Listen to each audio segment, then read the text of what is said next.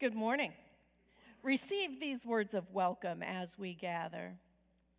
We come from all walks of life, from all corners of the city, from all perspectives the rich and the poor, the struggling and the secure, the hopeful and the despairing, gay, straight, trans, questioning, liberal, conservative, moderate.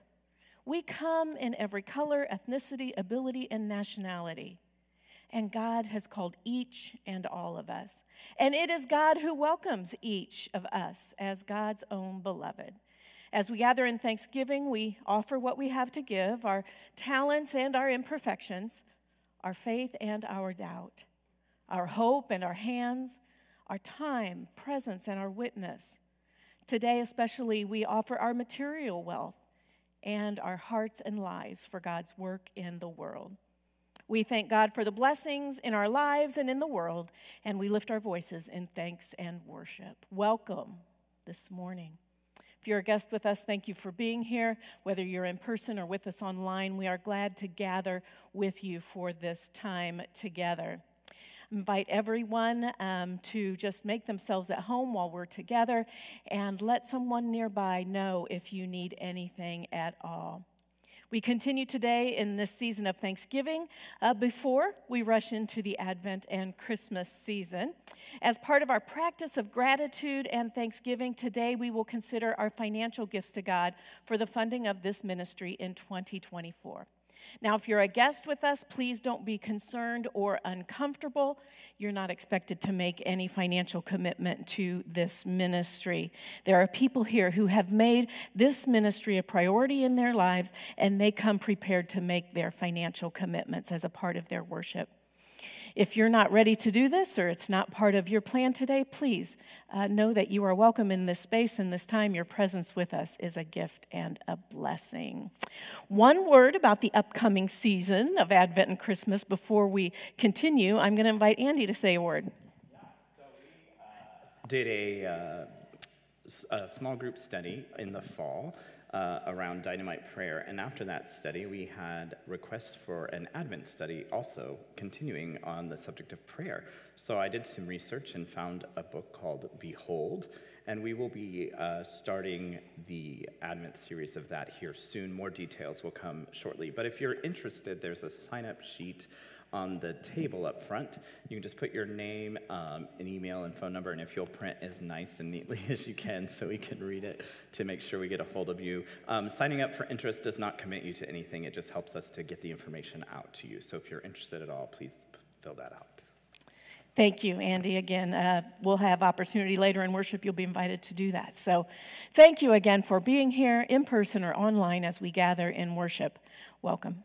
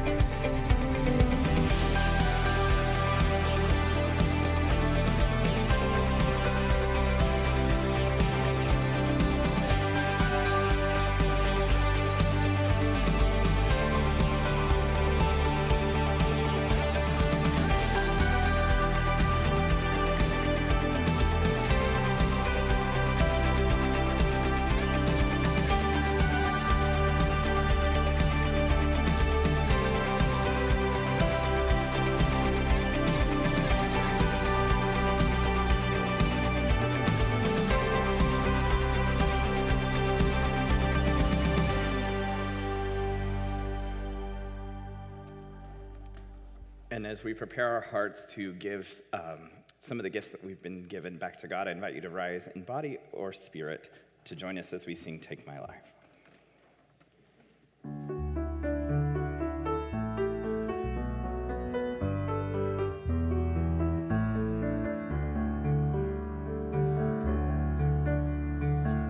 Take my life and let it be consecrated,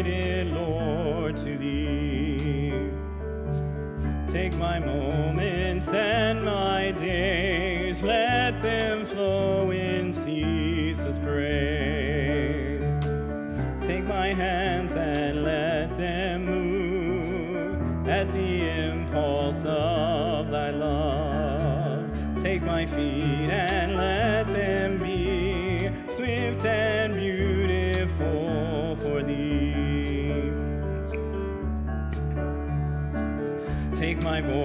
voice and let me sing always only for my King.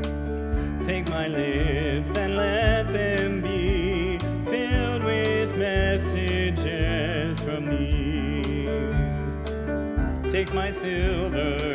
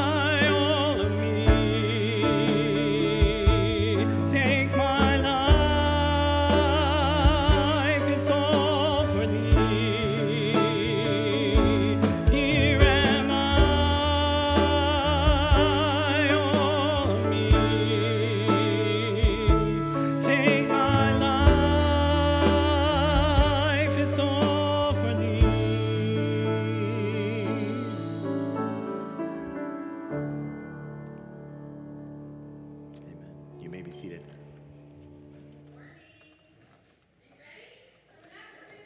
You go.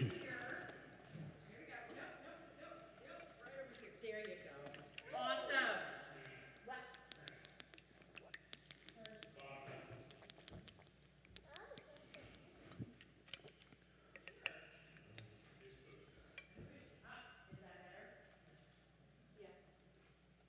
Better. There we go. Careful. I bet you can't even know the, you don't even know the difference, did you? All right, I, let's scoot over. Oh my goodness, it's a screw, and Mr. Andy's going to hand that. All right, so I have um, an announcement for these grown-ups out here. Um, how many of you wear neckties? Okay, how many of you have necktie- neckties that you don't want anymore? If you find some neckties that you aren't interested, the kids and I are going to be doing some things over Advent, and one of the activities we're going to do requires some neckties. And I thought, if you're not in, if you don't like them anymore, because it's not hip anymore to wear a, a necktie, you could donate them. Whether they're the big fat ones or in the 80s, the little skinny ones, it doesn't matter. We'll take them all. Awesome. Thank you very much. Next next um, Sunday, we will be happy to. Do you wear a necktie? No, Oh, okay. Do you know it's my birthday today? I did note that it was your birthday today, so that was my second announcement. Is that I think we all need to sing to Mr. Grayson, who is what, 25, 26? How old? Only eight. He's only eight. Do you mind if we sing a little happy birthday to Mr. Grayson? All right, ready?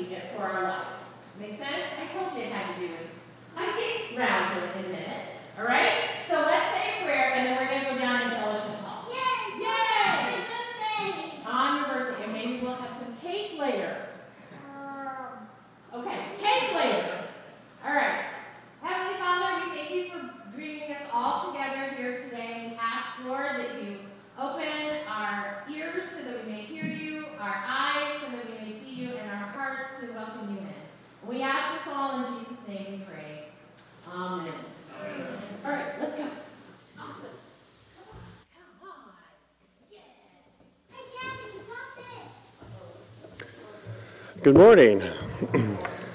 Today we are reading from the letter to the church in Philippi, chapter 4. I invite you to follow along in your own Bible or Bible app as we read. The writer invites the reader and us to rejoice and celebrate in the life they have with Jesus. As I read, I invite you to listen specifically for the actions and attitudes that lead us into joyful living. I'm reading Philippians chapter 4, verses 4 through 13.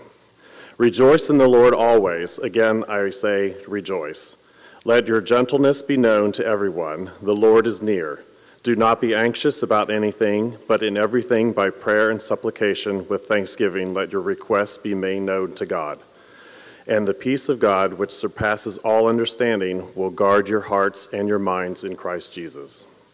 Finally, friends, whatever is true, whatever is honorable, whatever is just, whatever is pure, whatever is pleasing, whatever is commendable, if there is any excellence and if there is anything worthy of praise, think about these things. As for the things that you have learned and received and heard and noticed in me, do them, and the God of peace will be with you. I, re- will, I rejoice in the Lord greatly that now at last you have revived your concern for me. Indeed, you were concerned for me, but had no opportunity to show it. Not that I am referring to being in need, for I have learned to be content with whatever I have. I know what it is to have little, and I know what it is to have plenty. In any and all circumstances, I have learned the secret of being well fed and of going hungry, of having plenty and of being in need. I can do all things through him who strengthens me. Um, as we sing this next song, um, I invite you to stand if you're comfortable, sit if you're comfortable, whatever is comfortable for you. Um, and I hope that um, this will become each of our personal prayers to God. I give myself away.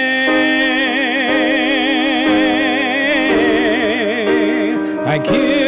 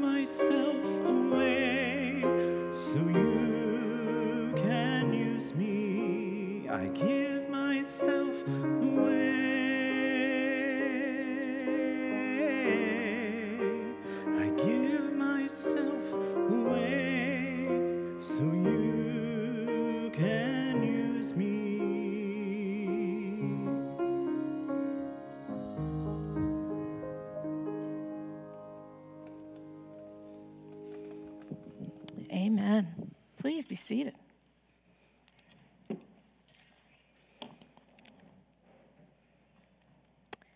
Well, we are just days away from the official Thanksgiving holiday. Many of us are grocery shopping, making our prep list, getting out our favorite recipes, getting the best dishes out. Now, some of us were doing this last week as we celebrated Thanksgiving at the table, Thursday evening dinner church. It was a beautiful evening together. Good food, special music, generous sharing in communities. We gave thanks for who God is and all that we enjoy. A lot of laughter and fun as well. Uh, thank you to everyone who made it happen this week and who makes it happen on a regular basis. Uh, we had a very special time together and uh, just so appreciate everyone who contributes to the table on a regular basis. But for those of us that are hosting or cooking for this week's gatherings with family and friends and others, we're still at it. Of course, turkey is the traditional centerpiece of the Thanksgiving meal. Now, how that came to be is, is really a rather long and convoluted tale that we'll not take time for today. But suffice it to say, I think turkey will grace many of our Thanksgiving tables. Now, for a lot of us, this is the only time each year that we cook like the whole turkey, and sometimes we need a little help, right? Well, I invite you to glean what you can from Gloria, a veteran of one fictional turkey hotline. Gobble, gobble, you've reached the Turkey Helpline. I'm a 20 year veteran of the Turkey Helpline. We're an elite group of turkey cooking experts, or Turkologists, as we're more commonly known. There are 43 of us, three are men, and our oldest volunteer is 94, and our resident expert on stovepipe ovens. We work a full 12 hour day, 6 a.m. to 6 p.m. The job consists of helping people who are in the middle of what we call turkey trauma. Breathe with me. Yeah, it- they're not gonna starve. It's an overcooked bird, not your wedding cake. Lots of newlyweds. You prepped nothing and you need it done in two hours. Okay, let's buckle down. We've got serious thawing work to do. How big is your bathtub? Jason, is the oven turned on? They always turn themselves off, don't they? Yep, you will have to stick your hand fully into the bird to retrieve the neck and organs. Sir, it's totally normal to feel queasy. No, don't take the phone into the bathroom. Okay, all right. I gargle turkey soup to keep the vocal cords loose. It's not a home remedy, I'm just addicted to sodium. In laws and your parents? Oh, sure, we can do that right now. Heavenly Father. Jennifer, I know spatchcock sounds scary, but it's just the turkey doing a little bit of yoga. Now grab those shears. Oh, Friendsgiving. I love that that's a thing now. Where's my invite? no, we have not actually met. Mom? Mom, do you need help with a turkey? Okay, well, I've told you you can only call here if you have a turkey problem. Is it sliced or ground? I will see her at Christmas and not a moment before. It's an intense 12 hours, but every year there's that one phone call the Lord uses to bring everything into focus. You have a great Thanksgiving Day too, dear. Bye bye now. You too drive safe. Happy Thanksgiving. You too. Happy Thanksgiving.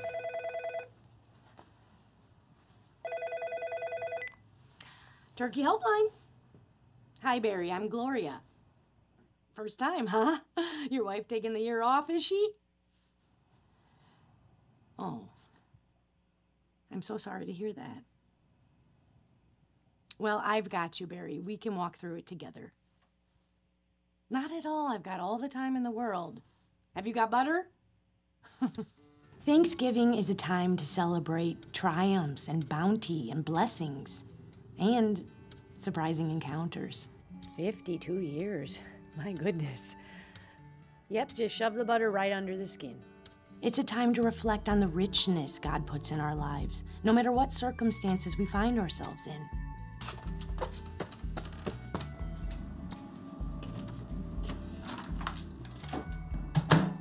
Whatever the case, it's a day to stop and give thanks to a God that loves us deeply.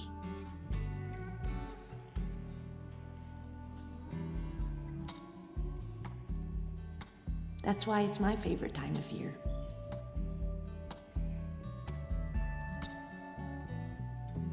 Yep, they probably should say to take the plastic wrap off the turkey before putting it in the oven. Unfortunately, I see takeout in your future, Beth.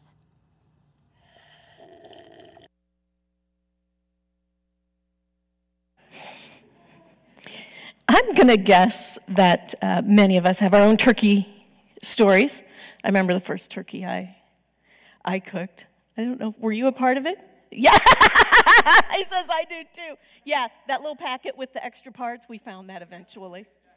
You're supposed to take it out before you cook it. Yeah, I know that now. I know that now. Well, while that video was fictionalized, there is a real turkey helpline. Butterball staffs a telephone and online call center to help you with all of your turkey questions. And the most asked question, any guesses? How long to cook it? Good guess. How long to defrost? That's the number one question how to thaw the bird. And I got a hint for you. If you haven't started yet, you might want to call the turkey helpline. According to Butterball, you should have already started. So you can look them up online. What other favorite things do you like to see and enjoy on Thanksgiving, on your Thanksgiving table? What are some of your favorites? Dressing, cranberry salad, green bean casserole. What? Clam dip. That's a new one for me, okay. Persimmon pudding, of course, that came from Sharon. and we all have some special recipes that we pull out this time of year. Corn casserole, yeah, that's a good one. But maybe the thing we want most this holiday, and correct me if I'm wrong, is a sense of peace and contentment and joy to be present in our hearts and our lives and our gatherings. And while a thoughtfully prepared meal and the gathering of friends and family can, may, maybe, sometimes, contribute to those things, mostly there's no family recipe good enough to heal all the hurts, smooth all the rough edges, and deliver true contentment and peace and a sense of deep joy. However, Paul, the, the likely writer of the letter to the church in Philippi that Don read for us today, Paul offers a pretty faithful, pretty trustworthy recipe for joy. He suggests for a life that knows joy, peace, and contentment to include the following celebration and worship. Exactly what we're doing here when we gather and when we go to God in praise outside of our corporate gatherings.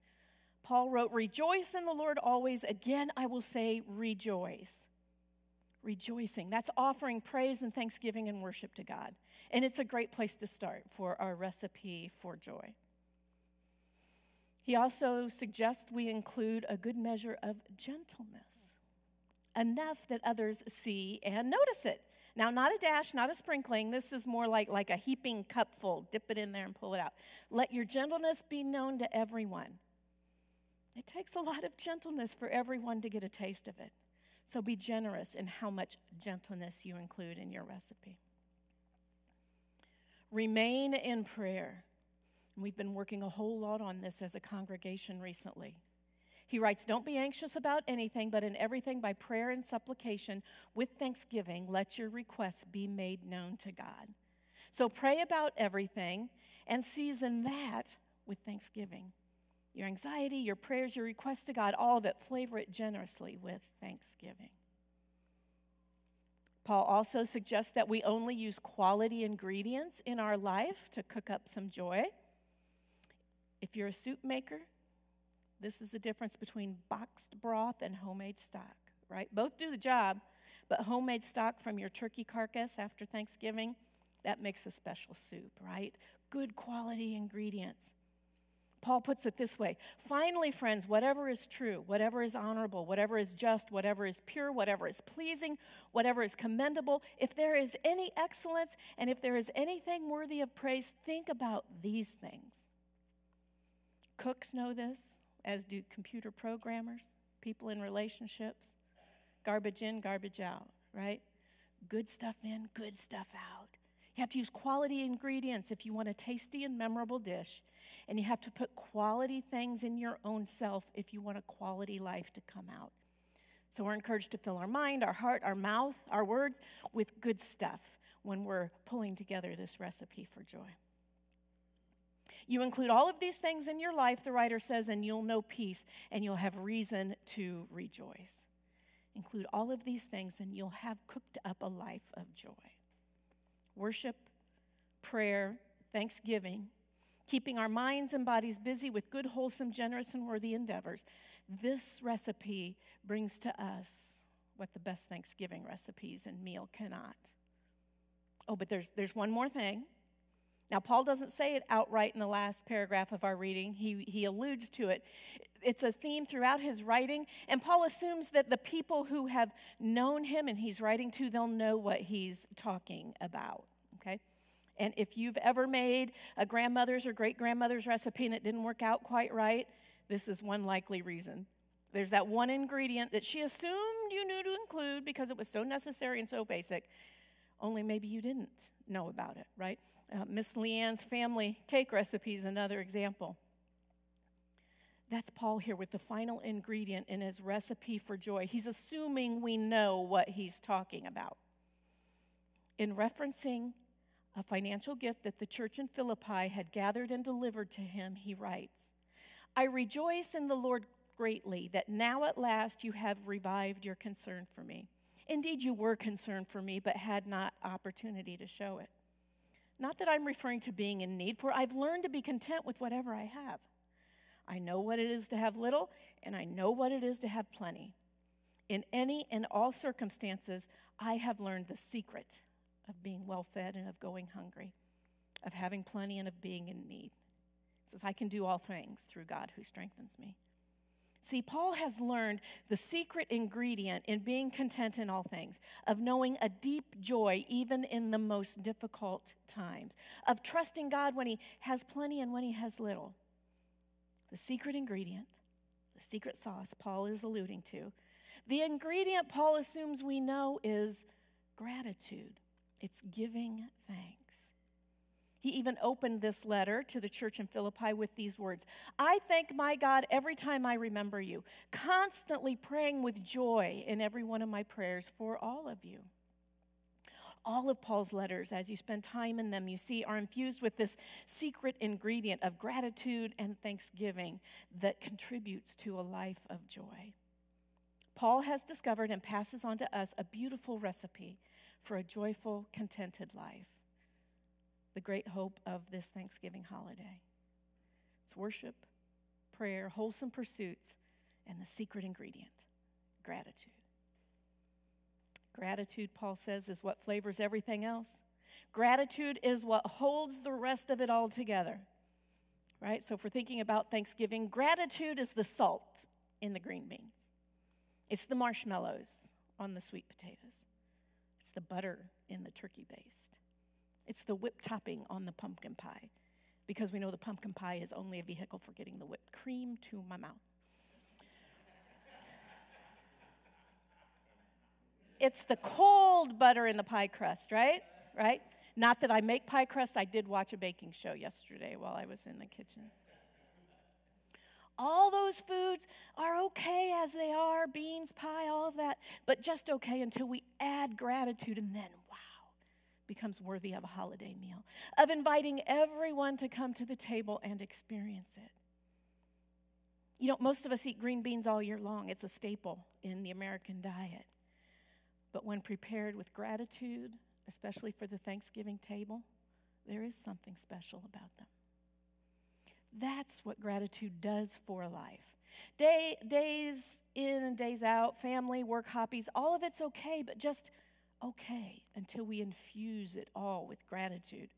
When we live each day, participate in each activity, live into each relationship with a sense of gratitude and thanksgiving for the rich blessings those things are, then joy settles in and lives deep within us. And that's because it's really hard to separate gratitude, the practice of thanksgiving, and joy. Paul repeatedly connects these two in his writing. It's hard to be thankful and express thanks without also knowing joy in our own spirits. And that's what this holiday is really all about gratitude and thankfulness known in our hearts and shown out in our words and actions, in such quantities and of such quality that everyone gets to see it and enjoy it and know that joy that Thanksgiving produces. Last week, we talked quite a bit about shouting our praise and thanksgiving, not just with big voices and big worship. If you were here, we did that, big voices, but in ways that spoke to and made a difference in the world, in the ways others experienced. We met Mike Epps, a supervan of the city of Indianapolis. We learned about all the ways he gives thanks and expresses his gratitude to his hometown. He rehabs houses. He, he leads affordable housing initiatives here. He's, he's a business owner here. He supports the local arts. He does all kinds of things that show out, that show beyond himself how grateful he is for what the city has meant to him. And by that example, we were invited to consider how we might shout out in our actions and especially in our giving our gratitude for who God is and all that God means to us. You were invited last week in worship, and a letter you received this week, if you're on our mailing list, to prayerfully consider your financial gifts to God through this ministry in 2024 so that you could make that commitment as a part of your worship today. On your way in, you received a packet of materials. Looks like this. If you did not, uh, Sharon would be glad to provide you with one. Just turn around and catch her eye.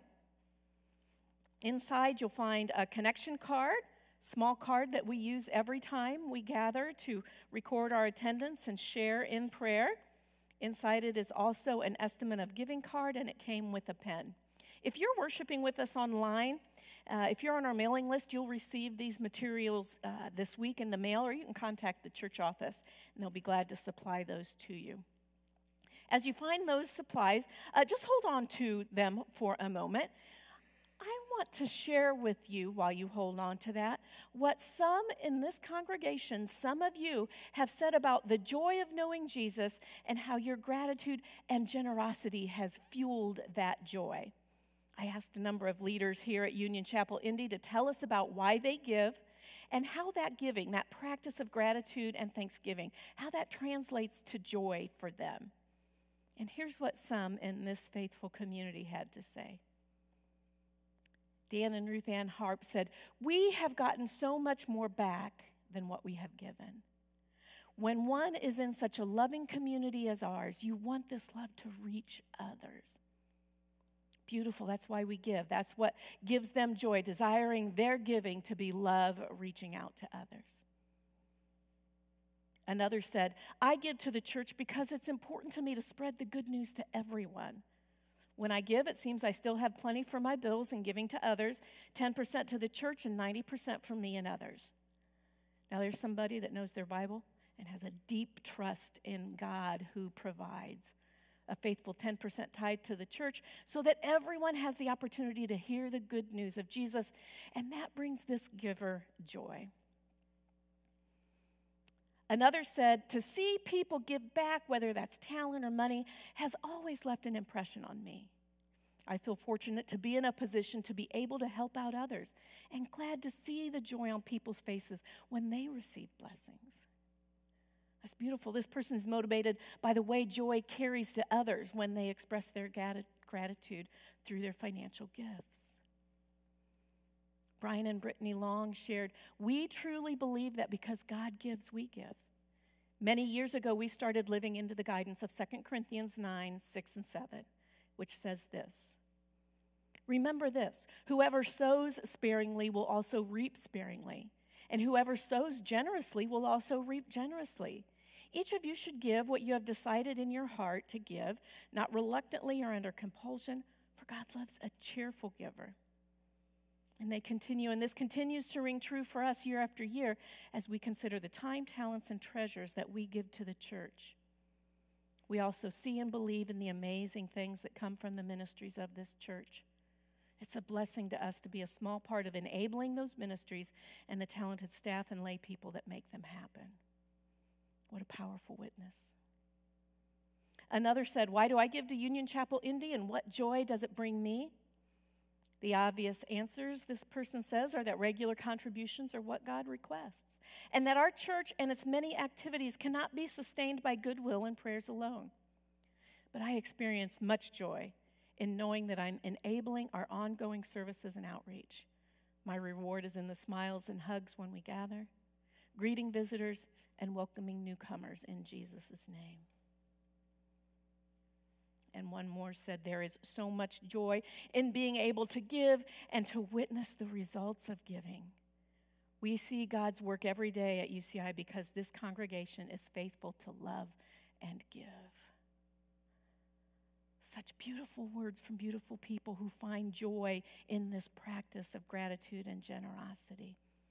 Thank you to all these people for their generosity and their witness today uh, to the power of gratitude, thanksgiving, and giving to bring joy into a life.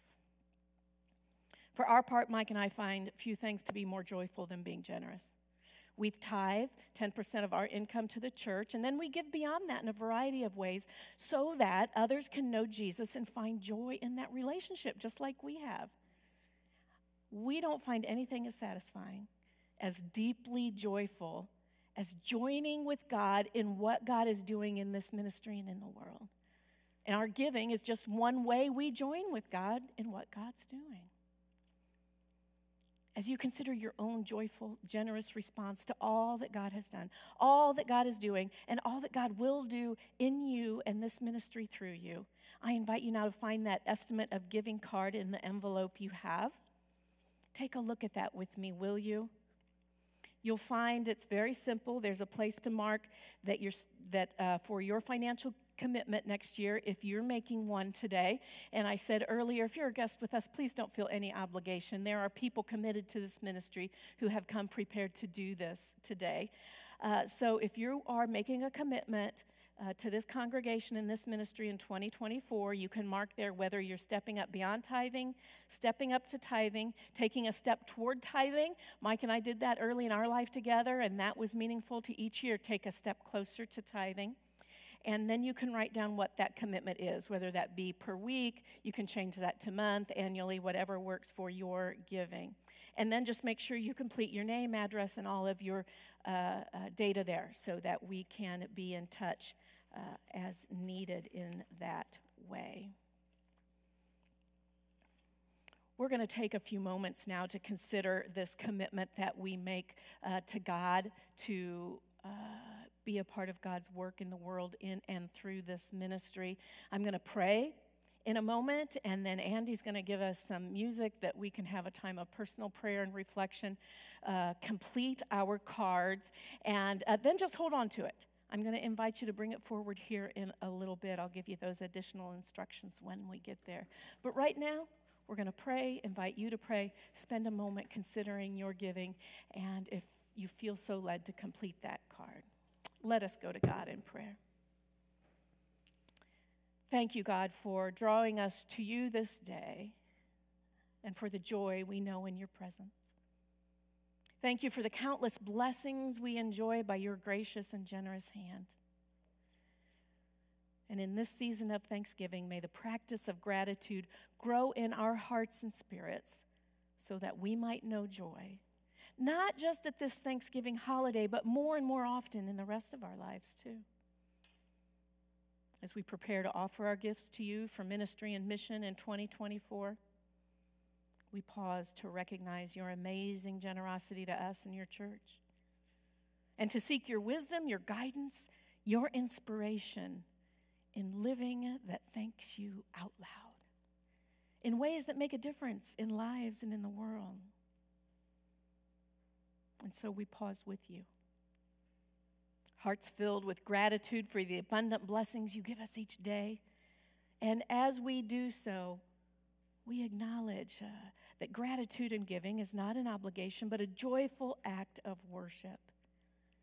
Helping to know that, help us to know that our giving is an expression of our deep love for you and an important part of the joy we know with you. May our commitments this day be a reflection of your grace and an outward witness of your love, of our love for you, your love for us, this ministry, and the world. And it's in your name we pray. Amen.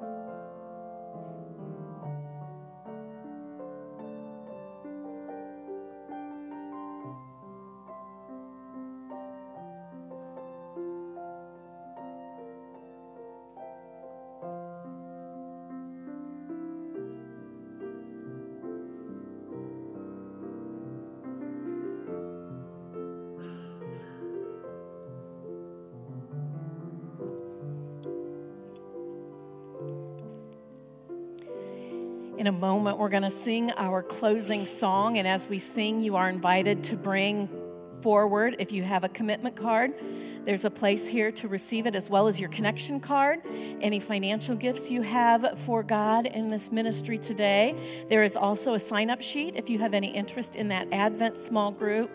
And I hope everyone will come because, if for nothing else, I did some baking yesterday and I added the secret ingredient gratitude with thanksgiving for all of you and this ministry and who we are together in the world, I bring these gifts to share with you. So come forward if you have things to leave, uh, have a bite of dessert, and we will sing together.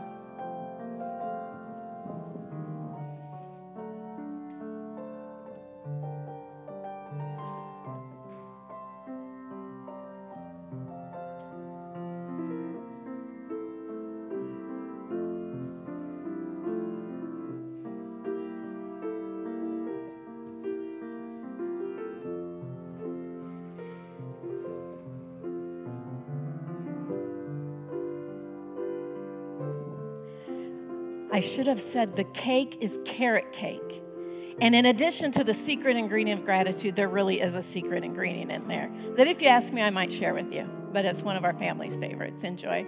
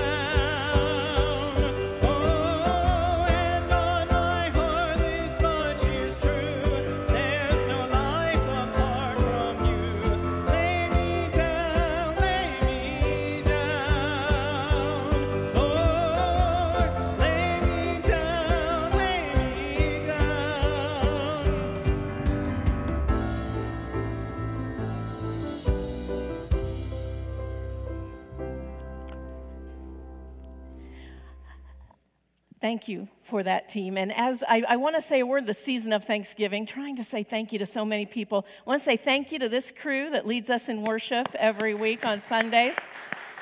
And there's also another crew you don't very often get to see. Crew upstairs, Kim's one of them, and there may be others sitting down because they rotate. Can we thank them for what they do for us? Thanks. They not only help facilitate worship in this space, they make sure that we're online too. So they, they make the magic happen, and I appreciate them so much. We, we sang a line in that song it will be my joy to say, Your will, your way, God. That's what we're doing really when we say, God, here's what I have, use it for your will, your way. And we know that God will do more with it than we could ever ask or imagine. And so we give God thanks and praise for uh, the invitation God makes to us today and for all that He will do with the gifts and the commitments we've made. Go this week, be safe, enjoy your turkeys, know joy, and be joy. Amen. I